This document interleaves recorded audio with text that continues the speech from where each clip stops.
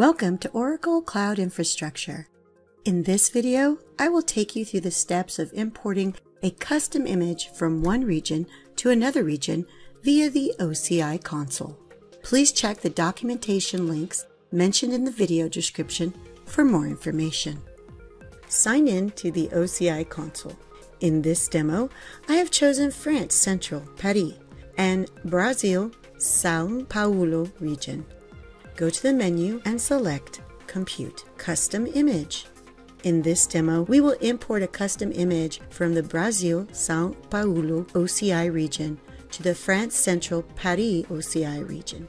Once you click on the Custom Image section, you can see your custom image name. Before you select Custom Image, you need to select your compartment. Note, if there is no custom image, then you need to create the custom image click the three dot menu and select Export. Once you click Export, you will get this window.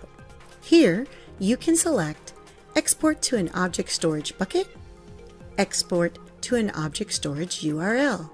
Note, you need to create a bucket before Export Image. If there is no bucket, then that image cannot export. Check the video description for doc and video links. If you select the first option, then you need to select your bucket name.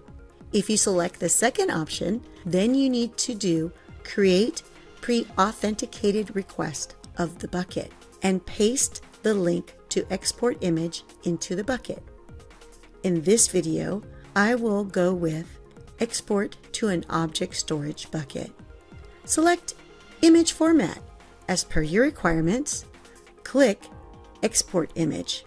It will take 5 to 10 minutes. Now go to the storage section. In the storage section, select bucket. Click on your bucket name. The exported image appears. Click the three dot menu and select create pre-authenticated request for your export image.